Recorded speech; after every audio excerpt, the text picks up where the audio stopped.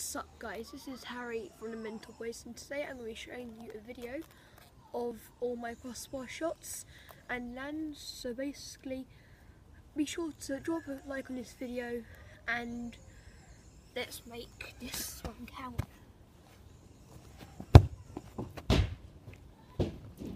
Or maybe not, but anyway, let's get into today's video.